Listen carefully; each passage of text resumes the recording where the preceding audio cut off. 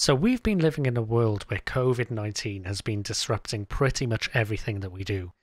And when you think about conferences and how we run those events, we obviously need to make sure that we figure out how to register our attendees, sign them up, and all of this administration work that needs to be done ahead of time. Well, for some conference organizers, there has to be a quick shift to go ahead and react to that. And that's what we're going to be talking about today here on Cloud with Chris.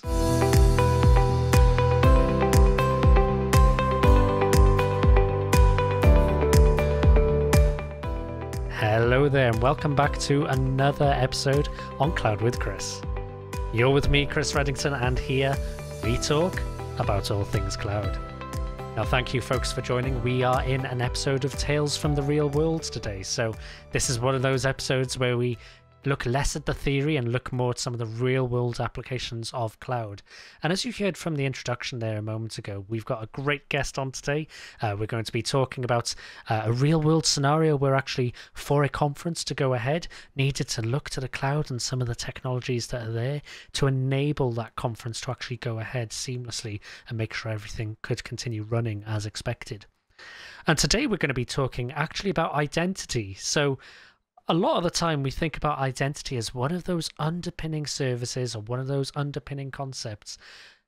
And it just works. It's just there. We kind of forget about it because it's that thing that is always there. It just works. We'd like to build the applications on top of it. But what we need to think about is really how identity underpins the work that we do. And in this scenario we'll be talking about today, it really has been the silver bullets, the clue is in the name, that helped the conference move ahead and actually uh, progress. So I'm delighted today uh, to introduce Facundo La Roca. Hopefully pronounced that right. We'll soon find out, and uh, we'll bring Facundo onto the show here. So, uh, as usual, if you like this session, please hit like, please hit subscribe, and hit the notification bell so we can bring more great speakers like Facundo onto the show. So, with that, let's introduce Facundo. Hey, Facundo, how are you doing? I'm doing great. Hi, Chris. Thank you for having me here today. No, thank you for joining. And uh, really, really pleased to have you on the show here. I think we've got a really great topic. I think real world experiences are always great to talk about because theory is one thing, but understanding how it applies in the real world is even better. So, before we jump into any of the technology first, let's maybe uh, introduce yourself. Yes, absolutely. My, my name is Facundo La Roca. I am in Argentina, Buenos Aires. But by the way, people call me Facu, which is a nickname. And I'm a software developer, mostly in Microsoft Stack. I've been using C Sharp for at least 15 years so far, and probably Azure for the last five years. Nice. That's where I spend mo- most of the time. Excellent, excellent. And one of the things you also do is you uh, organize a conference as well. So uh, Open, I believe. Yes, yes. Uh, I love spending some time doing things for the community. Um, and open is one of those things that I love doing. Excellent, excellent. So I guess then let's maybe start by setting the scene and painting the picture a little bit for anyone who's listening in. So that obviously this is a conference that you go and organize. I'm assuming it's an annual event. And for 2020, I guess, so last year, there was this big pandemic thing called COVID 19. Some people may have heard about it. Um, it's been very disruptive to all of our lives, and of course, uh, to yourself as a conference organizer as well. So, maybe help us understand a bit some of the time frames and some of the challenges that came up initially that you had to start dealing with. Yes, absolutely. Yes, the Open conference is a is a conference that takes place every year, probably October or November, mostly. It used to be a physical event mm. with people going to, to a place where uh, we invited the sponsors, the speakers, and then the whole community. Sure. Every, everything took place in person, so people used to be there. So if we need information from the audience, we, we had people there. But then, as you were saying, COVID came into play. Um, time went by, at the very beginning, if you remember, by March, mm-hmm. it was a lot of uncertainty about what would happen. Yep. And well, we had to improvise and change. Of course. So I guess then before COVID was a lot of the attendee registration and the uh, guest kind of sign-ups all manual and paper-based then, or was there some kind of you know local system to deal with that? Yes, uh, we used to use Eventbrite for registration, and Yes. people used to scan a, a barcode just in the entrance of the building, whatever it may be. With you, understood. And any other information, we did it, yeah, in paper, or we ask, and we fill up some forms, but it was we, with the people there, uh, face to face. Gotcha. No, Eventbrite is a great platform, but already I'm seeing where the challenge lies because with Eventbrite you have an app typically, I think, don't you, where you scan the barcodes to understand if people are attending certain events or not, and that's your way of interacting with that. But obviously you don't have that in the virtual world, and that's the challenge you then need to solve for. Yes, the, the main challenge we had was that we wanted to collect some custom information from the audience, like seniority, technologies they used, uh, years of experience, if they spoke uh, English, any other languages. And that information was not avail- available in, in Eventbrite, and we could do anything without. So we had to do something different. Sure, sure. And I guess the clue is in the title of uh, this particular episode, I suppose. We're going to be talking about um, Azure Active Directory B2C. But before we jump to that technology first, I guess, maybe help us understand the process you went through. You know, you've got the problem statement there, you understand the challenge, for example. What was then the next step for you to figure out maybe what tools or what technology you could use to actually solve that challenge? Yeah, this is going to be amazing and funny. Um, as, as I was saying, Mhm. time went by and we ran out of time, so we had to do something. We need we had to design a system just to get people registered, get some information, and then based on that information, do some uh, games or engagement activities with the audience, with the sponsors, that kind of stuff. Sure. So we did we didn't have time, and as you may may know, says coding was the last thing we wanted to do.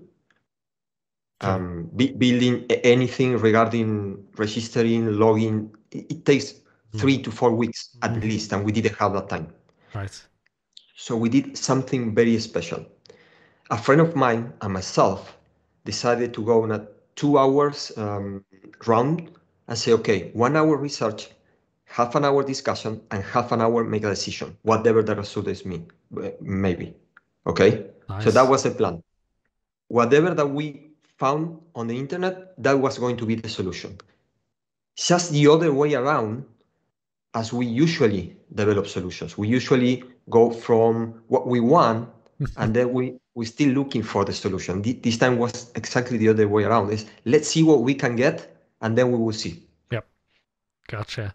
And it's very, very tight time frames there, isn't it? You know, I think the obvious elephant in the room here for anyone listening in, I think these days, is you don't want to build your own identity system. As soon as you start talking about identity, if building your own even comes up on the list, you should probably scratch it off the list straight away.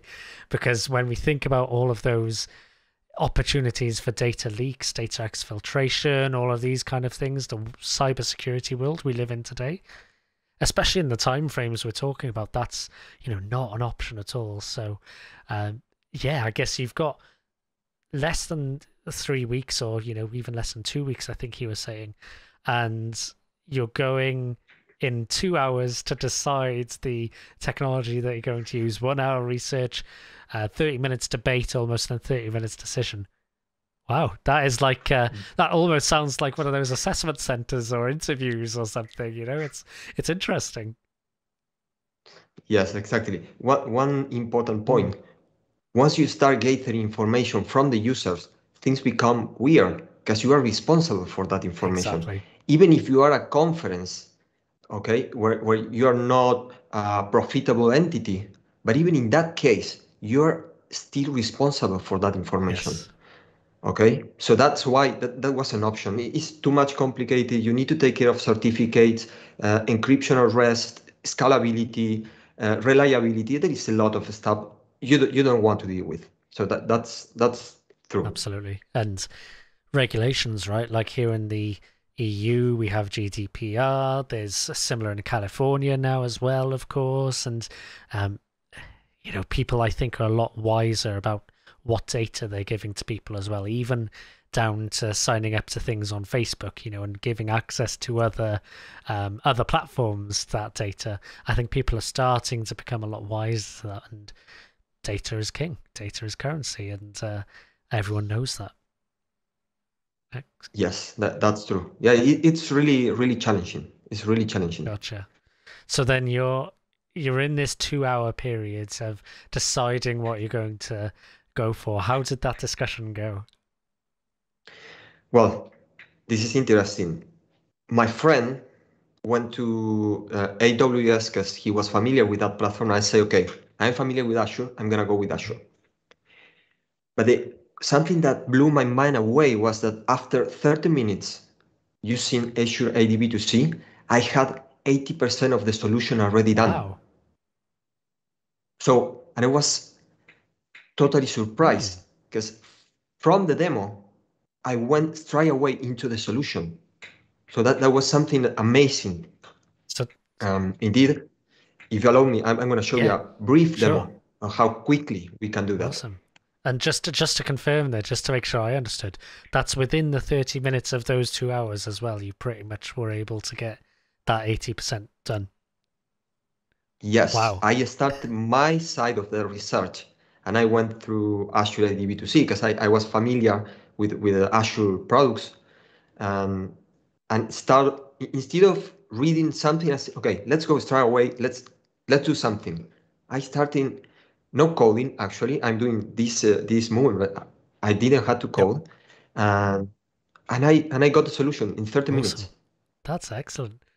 And I thought that's what you said. I just wanted to double check just in case anyone is listening in thinking, wow, you know, just to really pull it out. That's cool. Good. Okay, let me bring up the screen then because I think uh, we're going to be looking at some hands on stuff here. Awesome. Yes. Absolutely. So yeah, this is this is a platform, right? At the very beginning, this is a React uh, application. Sure. At the very beginning, it was just pure SPA. There is nothing here that you can. It's purely informational purposes, right? Uh, call for sponsors, call for speakers. Re registering was not an action at that point. Uh, we went through Eventbrite, okay? So this is what we had before actually going into this journey. And let me show you quickly what we did. Sure. Okay, I'm gonna click on login. Something happened. And I do have Google, LinkedIn, and GitHub integrations. Mm-hmm. Okay, I'm gonna go with, let, let's go with Google. Sure. Uh, let's pick up an account. Oh, look at this. This is beautiful. So I, I even have custom information. Uh-huh. Where I can get my name, uh, country, let's set up something. Uh-huh. State or province. There we go. Let's would be open. Let's check up some rows. Uh, no. Do you want to get news? Of course, I want English level advanced and how many years let's say more than 10 continue and what i love about that experience that you just um, went through there as well for anyone who hasn't used azure AD B2C already before there was some information that was already populated as well because you chose to sign start the process with I think you selected your Google account. Um, so you know your email address is populated there, for example. Your name was populated initially as well, and of course, you know if if you allow more information, more information could potentially be populated through, of course, but it just shows how some of that integration is there. You know, you're not creating a brand new account from scratch necessarily in B2C, you're actually using that uh, external provider there. But I'm sure we'll talk more about that in a bit as well. Yes, uh, all of this came out of the box. I didn't have to do anything yeah. for this. So let's receive. I think I need to send my verification code. So I do have um, email verification. So this is awesome. And I'm not doing anything specific. I, I will show you this in a minute. Mm, absolutely. And this is to protect against, you know, spoofing, spam, all of this type of stuff to verify you are actually Facundo Larroca. You know, it's not someone trying to impersonate you. Yep. Exactly. Um, I do have certificates. I don't have to take care of that. I don't need to take care about deployment, databases, scalability, resiliency. So everything was already solved, and I mean. So all that stuff that you've seen there is what I built almost in 30 minutes. Wow. That's awesome. And I guess there's going to be people here going, okay, Facundo, but you know, you you know Azure, you know these things, or you know this, but was B2C something that you'd touched in the past at all? Was it something you were aware of? No. Awesome. No, no, no. So uh, that was a, the first time indeed that I, I, had a chance to to really dig into yeah. it. Um, for the certification that I that I got, I had to read a little bit about it, but it was mostly theoretical. Gotcha. So I didn't have real experience with the service. Nice. That's awesome. Awesome. So and that that was all. Now it's not only what you see there. Mm. If I need re- reports from my users, I can use Microsoft Graph API to get the reports. I can I can even do some segmentation, filtering. So it it is much more than just uh, a registration form. Yeah, you get. I, am gonna show you in a minute, but there is also multi-factor authentication if you want. Yeah. yeah. Integration with third-party providers. You've seen that, which is not not simple because you may be thinking, okay, all of them uses OpenID Connect, but that's not true. Not all of them uses OpenID Connect. Oh, okay, that's interesting. That's interesting. And you mentioned, I think uh, it was a React app that you were using. Yep. This this is a React okay. app. Yes. And I guess you're probably then on the client side using what is it these days, MSAL? Uh, no, this is uh, we are using OpenID Connect oh, library. Okay. It's a it's a common it's, it's a common uh, very standard protocol oh, um, and library. Nice. Ah, good. Excellent. And I just love how seamless it was. And you know, I've done some work with B2C in the past, so I kind of spot some of these things as we go. But for anyone who didn't notice as we went through the login and the signing experience, you actually redirected to a different site. Um, you redirected to a different area. So it had a .b2c login.com. And if you don't believe us, go back in the video, go take a look. You'll actually see it do that as well. Um, but this is what I love about B2C is that you can make it look and feel just like the website that you're on because again i think as users we've become a bit wise to hold on i'm redirecting somewhere else. Is this still the same website that i was on? Is this you know is someone hijacking what i'm doing here or is this is this genuine? So love that experience. Very seamless.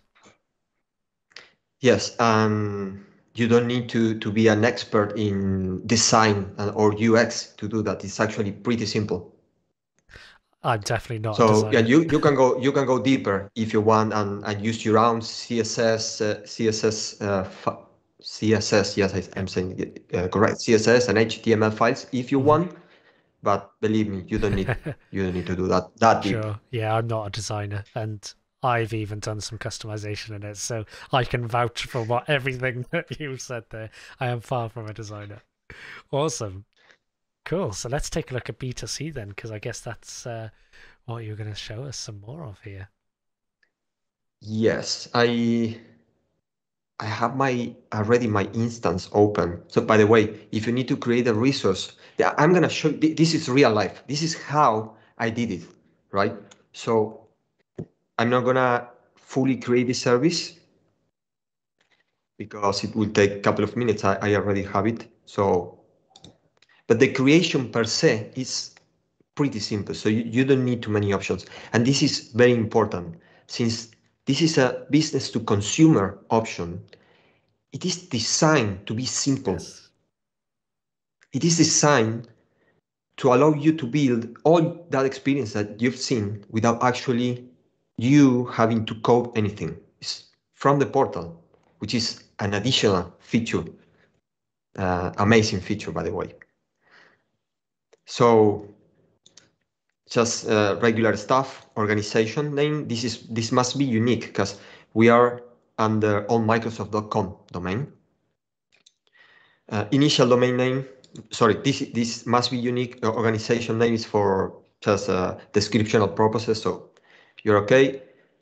Country and region. The reason for this is because uh, there must be resources that uh, have to be allocated.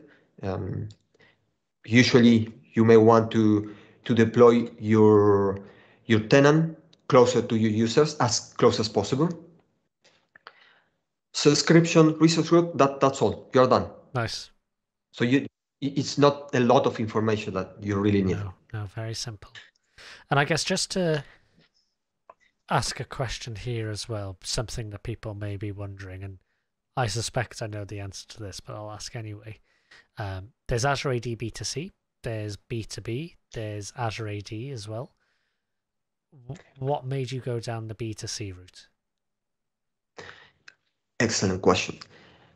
Azure Active Directory um, B2C is built on top of Azure Active Directory, right? So if you are an Azure Active Directory user, this will sound familiar to you. What B2C adds is all that layer of uh, layouts that you've seen that you can present to your users, uh, not to your users, to your consuming application straight away. So that's a B2C part that you see there. So that allows us to build all, all those layouts that works in a flow and, and you will see that concept here. So when you log in, then I had the option to select a provider and then based on the provider, I went to another layout where I had to fill up my form. It's a kind of flow. All that stuff comes from the B2C side Sure. uh, that the platform also offers. Awesome. Excellent. And what I'm sure Facundo will show in a moment for anyone listening is uh, the flows are the user flows. And it's it's just so so powerful. It brings a smile when I see some of this technology coming together because as you say it is just so simple to let users bring their accounts wherever they are, you know, whether it's Twitter or Google or Facebook or LinkedIn or GitHub or wherever. Just bring that account, just log into my app. Done. There you go. uh, Ex- awesome. Exactly. Exactly. And and again, when it comes to authentication, I I prefer just having an expert doing that and not myself. And I and I prefer spending the time in, in things that add real value to my users, right? Not Yes. authentication, which is difficult. Uh, that's why I think this is amazing. Yeah, difficult, and let's face it, as individual developers trying to build a system like that, we're probably going to do it wrong. So let's just leave it to a company like Microsoft that builds something like Azure AD B2C, where they got teams who build this service to go and let them do that instead of us. Could not agree more. Could not agree more. Absolutely. Absolutely. So um, this is a creation. This will take probably 10 minutes. Mhm. Um, so let's move forward. So once you have created your tenant and you get the, the notification bell there, you will end up here. This, this is the, the home screen for Azure AD B2C. And as, as you can see, it's very intuitive. They are even telling you, okay, there are three steps that you need to do. It says register an application, create or add providers. Uh, those are the ones that you've seen is Google, Facebook. You can even use username and password if you want, uh, which is amazing because for some cases you have a database there, a user database there. You don't need to do anything. Um, and finally, you create a user flow. And that's all what you need to do. Gotcha. So wh- what's uh, an application? An application, so you need some mechanism to identify that whoever is calling your service is something authorized. In this case, it was the the vopen.tech Mhm. front end. I, I don't want any, th- this is an open solution, so I don't want any other applications using my, my tenant. That's why I need to register an application. Um, providers, you always need a, someone to provide uh, the identity. right? It can either, either be what they call the local provider, which is username and password, or, or it can even be any other provider that accepts OpenID Connect or that is already built into the platform. And the user flow is all that stuff regarding designs that you've Sure. seen. That, that's why you need it. Um, so again, I came here uh, and I just started creating things. I'm gonna just register an application. Mhm. Uh, let's create one. And this is the same kind of app registration experience. If I've used Azure AD before, probably going to be familiar with this. Yes, I think it's exactly the same. And if you have ever used any other uh, authentication system, it can be Okta, Auth0, or any of them. This is this will be pretty familiar Yes. because there may be some differences, but it's pretty standard. So I'm gonna give it a name. With Chris, so I can I can choose what kind of account I want to use. In this case, this is open, is any any account. Mhm. And there is only one more thing that I need to set up is the callback URL. Sure. Um, this must point to my application. Azure AD B2C, once all the authentication has been finished, uh, your identity has been proven, we create a token, a JWT token, and, and we return back that token to that application. That's why it's very important that we, uh, this kind of whitelist. So we don't want any other application catching up your token. Absolutely. Because if we didn't have that safety check in there almost, then the potential is that actually if someone happens to be able to intercept it and you know point to their own application they could capture that token and pull out all of the uh, claims and all of the information and potentially send it on somewhere and impersonate you which is obviously not what anyone wants. So you know don't put any random urls in these boxes here folks. This is why it's there. So uh, make sure you take note of that Yeah, absolutely. So just for testing purposes, because I, I wanted to, to show you how this Sure. looks like, I'm going to use this this site that will allow us just to take a look at, at the token. Mm. Um, but in, in real world, I set up my uh, vopen.tech slash callback OpenID Connect that, that uh, URL. So I'm going to click on register. Just let me, sorry, I've realized this is not in English. it's all good it's all good So let's change I was, it. I was doing some translation on the fly in my head. Amazing. Let's apply. my very limited uh, Spanish as well. There we go.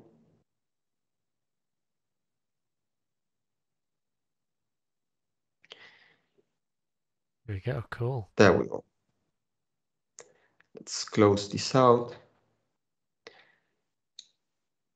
There we go. I just register my application.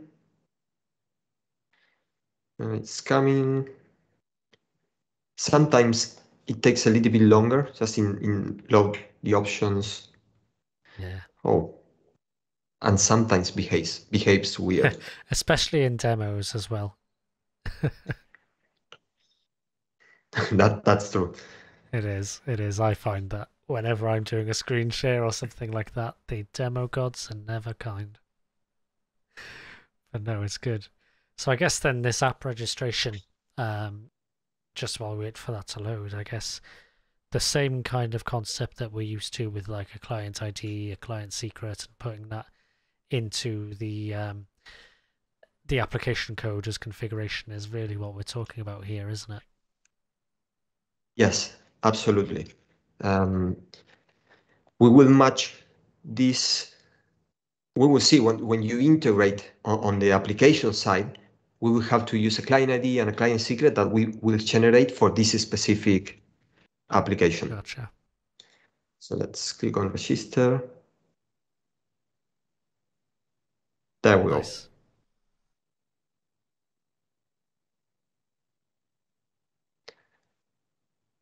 Basic stuff. So I, I didn't have to do anything. Eventually, uh, I may want to get some tokens.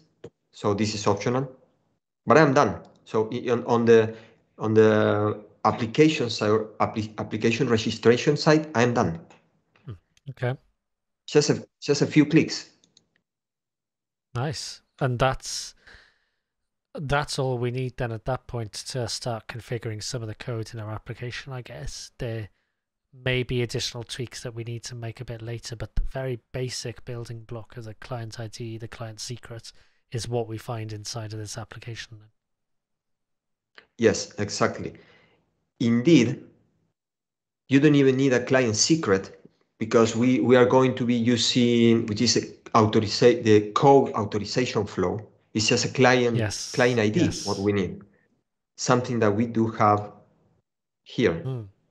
So this is all, all what you need. I'm, I'm going to show you this in a minute. Nice. Uh, well, actually, we have both. Okay. the other one was being created. Exactly. So step number one is like, let's register an application. Step number two, let's create some providers. Sure. Um, this is going to be very intuitive. Local account is by default added. I added the GitHub one because um, I didn't want to expose the client secret. You have to do this on your GitHub side in order to have your GitHub account configured, right? But this is pretty standard. Mm. I, I already have my callback URL. This is something I need to configure on GitHub side. Okay, and I need to grab client ID and client secret that GitHub provides for me. Yep.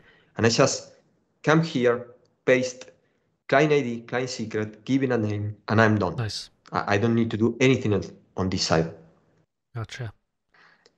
I think it's similar, isn't it, for a lot of those identity providers? Is just on the identity provider side, what is the callback URL? Kind of similar to what you did when you set up the app registration. Same kind of idea. What's the allow list of where we're sending something back towards? Um, and then getting from the identity provider your login credentials effectively for that registration over there that allows you to almost do something on behalf of that provider there. Yeah, exactly. Something lovely about, about the platform is that LinkedIn doesn't use OpenID Connect. Hmm. They use just plain OAuth. Ah, okay. And unbelievable, Apple doesn't use OpenID Connect. They don't even use um, OAuth. They they have a slightly different protocol. Right. So if you are by your own, then you need to deal with every almost every single provider in a yes. different way, which is a lot of work. Um, and they are solving everything very transparently. You just came here, configure the basic stuff, and that's all. You are done. Yes. Yeah. Yeah. Gotcha. So I do have my local account, which is username and password by default. I've got my GitHub account, just a few clicks, and I'm done with providers. Now I, I can move to the most important part, which is the uh, user flows that we were talking before. Gotcha. And this is something very interesting. You, you've seen a lot of different screen there because mm. you have user registration, the sign up form. Eventually, you may have um, password reset, password recovery, multi-factor authentication, mm. um, error pages, a lot of different things. Of course, I'm not going to do anything about that by hand. I'm just gonna use all the options that are uh, already built in, like gotcha. sign up and sign in. So the, the, the platform provides you with a lot of different standards that you can use. So you don't have to be your own. Nice. And this is effectively then setting up those, as the name implies, right? User flows, those different paths and those different journeys to interact with Azure AD B2C as an end user. Nice. Exactly. And if there are some cases that, that you need to tweak or, or you, you want to do something different because mm. you want to hit an external API or push a, a message to a third party service, something like that, you can still do that and provide everything by hand. Uh, but let's say 90% of the cases, this is ready to use. So I'm gonna pick up sign up and sign in, which is uh, they are separated because in some cases, depending on your, your use case, you may want to have sign in on one side and sign up on the other. Um, I'm gonna use the, the combined one that allows you to either log in or register if you don't have an account yet. Sure. So let's hit create. Again, giving a name. Let's select what providers I want to include. Let's use uh, email sign up, GitHub. There are more stuff here. I'm not gonna use it like multi-factor authentication. As you can see, this is already implemented. Hmm. I can also, if I want, I can go ahead and just create this. But if I am registering a user, I may want to collect some very common information like surname, let's go show more, sign name or given name, email addresses, uh, postal code, a lot of different options. So let's assume that I want to go with very basic information like given name and surname. Eventually, I may want to include some of those uh, attributes into the token that Azure will return back to our application. So I can do it here as well. Sure. Uh, let's let's hit also user is new so that the application knows that this is a new user. Yep. Eventually, the app, the app can react uh, differently in that case. So let's Yeah. hit OK and create. Nice.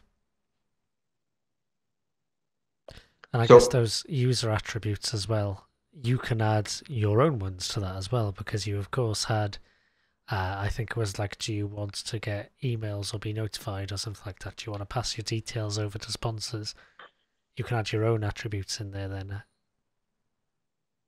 Yes, absolutely. Indeed, uh, when I was going through the vOpen site, you saw English level, experience. Um, I remember a couple of more, but th- they are pretty custom. They are not built in here into the platform, so you can do that also. But Yes. just just to give you an idea, so we've been doing this for 10 minutes, and I'm gonna show you something. I am I am done. So let me show you. I'm, I'm gonna, I want to, the flow, I'm gonna just go ahead and click run user flow. Uh-huh. I'm gonna run it. And we are done. So Mm. this was my process. So I started my research and suddenly in 10 minutes I had this. So this for me that was very mind blowing. I couldn't believe that it was so easy. Um, let me show you. I don't have an account yet, so let's sign up.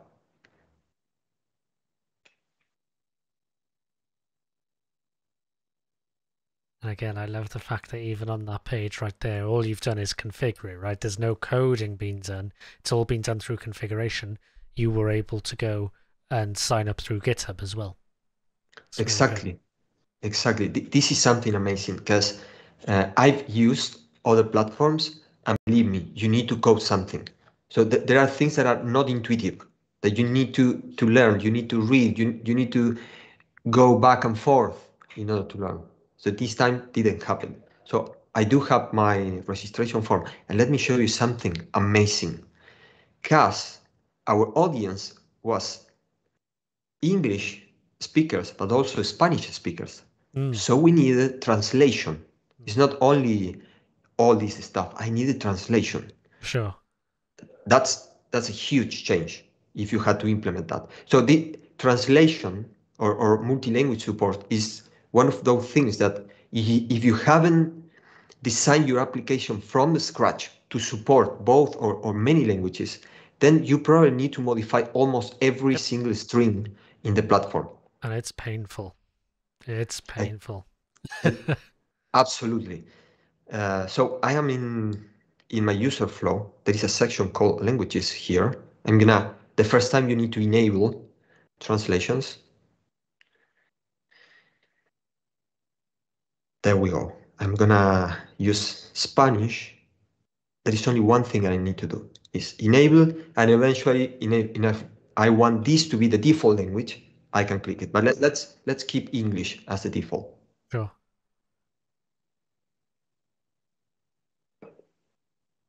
Let's save the changes. There we go. Okay, we are done. Let's try to run the user flow again. I do have this new localization helper here. I can choose any language. If I choose a language that is not configured, we are going to go to the default, which is English in this case. Um, just, are you a fan of the Lord of the Ring and you want to include elf language? Look at this. You you can actually, which is amazing. Wow. This is the great thing, right? When you think about the possibilities, you know, there are going to be gaming websites out there like RPG, MMORPG type websites that would love functionality like that, you know, Star Trek logging on with Klingon or something like that. It's there you go. Wow, look at that. It's all in Spanish. You've done zero Ex- again, apart from configuration. Exactly. And what about the, the, the background, the logo? Because this doesn't look like my own site. So I would like to configure it. So let, let's do it. Um, let's go to the B2C. There is this section here, company branding. Mm. Uh, I need to enable. I'm, I'm gonna just provide. There are some restrictions, okay, because um, this is a standard, it's a file size, uh, image size. So let's. I had something prefer, prepare. It's gonna. Sure. let's select the logo. I created. I created this especially for you. oh, thank you. I am Let's save it. There we go. Let's give it another try. User flows. You, you can have many user flow depending on the application. You, you may you may want to get some information for some application, but then for other apps you don't want to get all those attributes. Then you can play around with those and create many user flows. So you you are not limited to only one. And some of the default ones as well there, um, with things like user profile editing, password reset as well. So, you know, the, you quite likely would have many of those in a normal application there as well. Exactly, exactly. Indeed, um, profile editing is another very good feature that probably you want to have in your uh, in your set of user Yes. flows. Yeah. Excellent. So let's give it a minute while it's loading. There we go. we go. There we go. So I do have some customization. It's not too fancy. But it Um, shows, doesn't it, how you can just with a few little tweaks start getting something which is being more representative of your brand, your site, what you're trying to aim towards, and makes it feel a little more like that uh, that environment that you're uh, building for. Exactly. And just to to to keep the context of, of this session. Yeah. This was my whole process of researching. So I wasn't expect when I started doing this, I wasn't expecting to find a solution out of there, Mm. but rather a plan. And, and I was creating everything. I, I was at this stage and say, okay, so I'm almost done. Um, as as we've seen, I needed some custom fields. So let, let's try adding adding them. So I'm gonna go back to to the to the home. I need to go to user attributes. Yeah. And you will see a list of already built-in attributes. Okay. So these are ready to use. You don't need to do anything special. But let's add one more. Let's say English level. English level, there we go. I want to be a string because I want to use basic, medium, and, and advanced. Mhm. I can give you a description.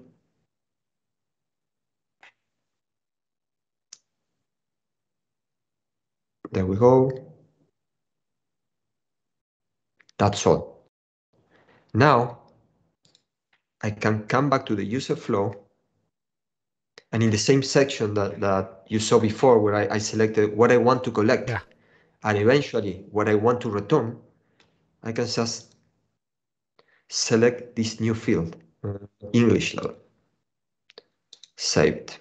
See, and this is really interesting, isn't it? Where so easily you've made that a part of effectively that that user flow. So could be something like signing in, signing up, and whether it's visible, whether it's returned, um, could be editing the profile, etc. But when you think about your application and the vOpen kind of website, you know, if if you wanted to recommend particular sessions above others and start creating a really integrated experience about, hey, we know that um, you know, maybe your English level is basic, for example, so you'd prefer um, you know, Spanish only talks, for example, or Spanish first talks. Let's prioritize those on the website for you, for example, and doing things like that. And that's what I love about this is that wider impact and potential. Yeah, indeed, that that's exactly the case.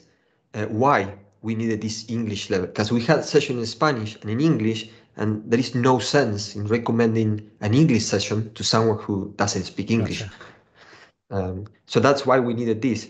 And the same happened with years of experience or seniority. So there, there may be uh, talks that are very advanced. So it wouldn't make sense or it would make less sense recommending those sessions to people who is new. Um, so that, that's why we needed that information. So there, there we go. So this is, this is one of the, the first things that I needed to think because I'm going to show you something. Sure. So I, I added my English level. So let's go to sign up. Let's see. Oh, well, it's not a combo box. I, I don't like it. it. It's not what I am expecting. Um, so this was the most complicated part that I had to figure out. And I'm going to show you when I when I say complicated, you will see what it is. sure. Let's go again. In the meantime, because I, I wanted to show you exactly so, so we can understand how these flows work. Sure. This opening, let's give it a try. There we go. Okay. So first first time I got the login screen. Okay. Then I click on sign up and I went to this screen, Yes. which is a registration form. Yes. Okay. And here I have all different elements that are going to be rendered into this screen. So if I go to my user flow, there is a page layout sections where you will see all of them. You have the unified sign up or sign in page, you have local account sign up, and then you see here all these elements that I have here. So I, I don't even need to do anything specific. I, I, it's just as simple as coming here and say, okay, I want a drop-down list. Yep. Eventually, I can say, okay, I want this to be optional or not, or the same with the name. Okay. There we go.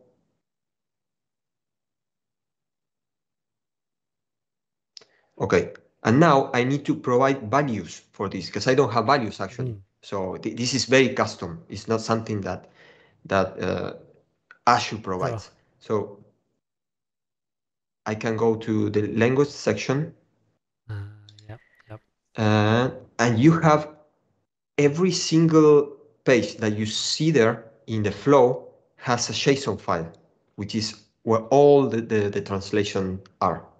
Gotcha. So it's, a, it's as simple as downloading that JSON, looking for the string you are looking for, changing whatever the value that may be, and just uploading the file, and you are done. Yep. And you have trans everything translated.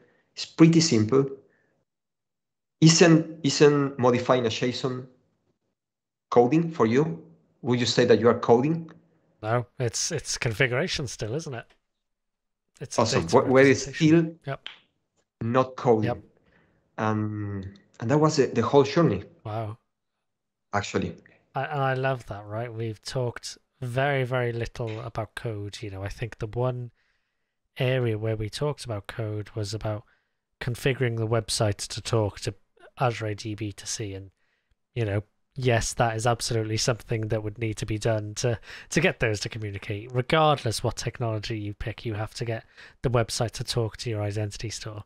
But the fact that all the power, all of the magic that happens inside B2C, and we've touched very little code, I think is really showcasing the power of uh, the service there. Really, really awesome. Yes, and remember that we had limited time, so we, we didn't want to spend too much time on yes. it. So getting this out of a research uh, task is something uh, priceless. Mm. And I think uh, and that was really amazing. But There's also something really important to pull out here as well. That on the one hand, absolutely, there was the uh, time constraint and the time pressures that you had and you had to actually make make sure the conference can go ahead. You get all the minimum pieces, but actually, there's all of the stuff that we've talked about, which is above that as well. The value that it brings, like the multi-language support, uh, like the uh, branding, for example. You know, those are two features of B2C. Fair enough, but thinking about your website and the experience you give to your end users, the fact that you can build an experience based upon hey we know uh, your level of english speaking. Hey we know uh, your level of seniority.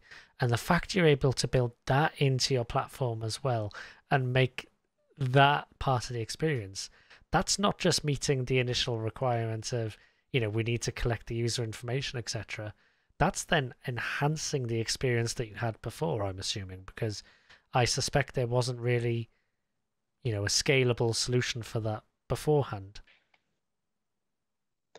That's correct. Yeah. That's correct. It is much more than just the, the, the login that we've seen, and that allow that allow us to go to the next level of the platform. Yeah. Because on top of this, uh, we were able to build much more features like an interactive interactive chat that we needed. Nice. And we had some instead of requiring our own APIs, we used Azure Functions to build that, that interaction. And of course, this integrates almost smoothly uh, among services yes. uh, within Azure, yes. which is another super feature. Yes. Um, so it's, it's not, not only this, it's all the value that you get from Azure per se and the integration with our platforms. Awesome. Awesome. And I guess what you're alluding to there is the as it was called, easy auth functionality uh, inside of App Service or Azure Functions. And yes, you know, having Azure AD B2C with something like Azure Functions, maybe even API management as your facade between all of that, brings this really nice end to end kind of serverless workflow for your APIs, which is awesome. And B2C certainly fits into that. Really, really cool. So I guess then. Yes, that is. Yeah there is one more yeah, detail. Yeah, please. You know what the what the budget for all this stuff was? Go ahead. Zero. So we didn't spend any single dollar because the the um, the offering, the product has uh, 5,000 monthly active users for free right. for every single account. Yeah, yeah. And because we didn't went uh, above that threshold, the service was for free. So we didn't have to spend any single uh, dollar in this solution. And I think that's what's awesome about this, isn't it? Is not only did you reduce your time to getting this done and were able to make sure the conference can go ahead as planned, not only did you add extra functionality to your website and your platform to enhance the user experience, you managed to bring it all in at a budget of zero and make that free. And I think it's just awesome as a story. You know, you haven't just managed to deliver what you want to deliver, you've gone beyond that and brought it in at a budget of minimal budget, right? So, really, really awesome story there, Facundo. So, thank you for sharing that. No, it was it was a pleasure. I think it's a it's a very good example of uh, Azure in the real life and how a service can really makes your life easier.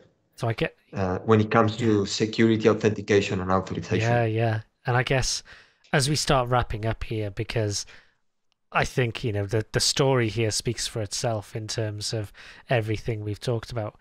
Is there anything, you know, for people listening in, for watching the video, that you want to leave them with? That, you know, I think there's been a lot of great information. Is there anything which has been particularly important that you want people to focus on or take away?